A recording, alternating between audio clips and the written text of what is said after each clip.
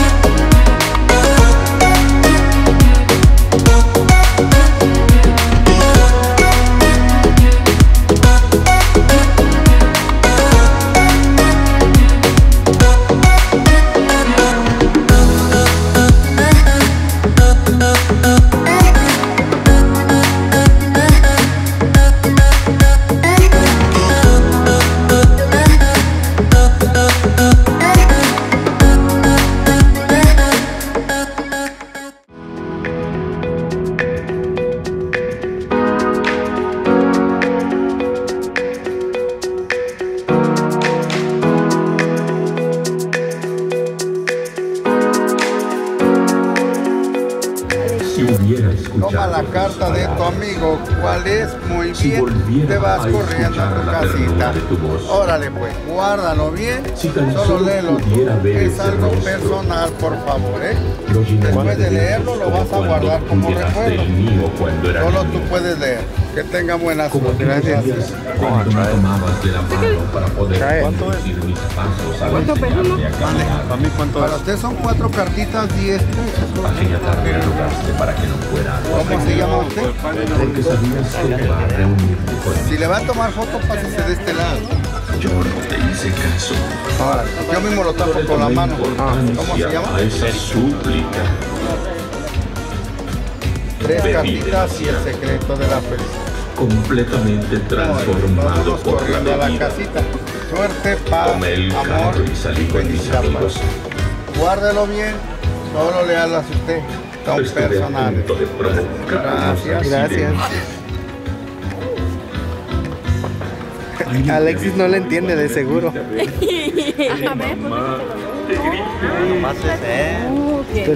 Oh.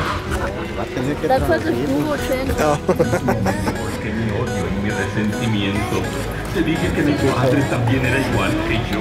Que de qué te Why, can't I see Instagram like You know your old when. Your little brother doesn't know what a payphone is. He's asking how to access Instagram. Oh, I'm old.